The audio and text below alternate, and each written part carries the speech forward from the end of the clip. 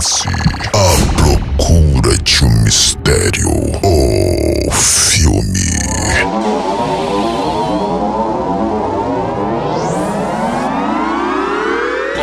Evangélico vai ficar para história mostrando o apocalipse em 32 horas. São sete aventureiros que vão enfrentar a missão, salvar a humanidade da grande destruição. Vai!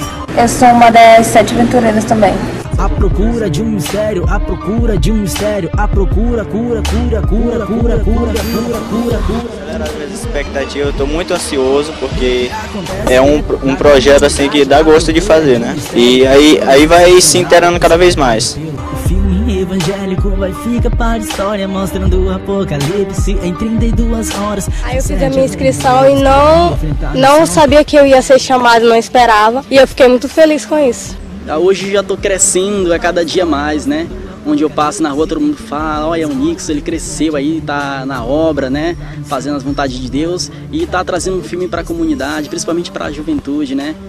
E é assim. Participar do filme é uma grande oportunidade, porque ele é um despertamento para todos os jovens. Não para só jovens, mas para todos que vão assistir o filme. Bom É trombetas, traz novas experiências para minha vida e também relata fatos da Bíblia que a população está precisando.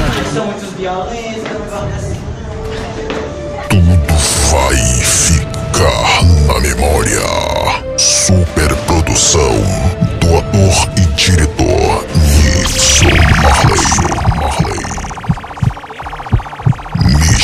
Mistério, profecias e os sete aventureiros. A procura de um mistério.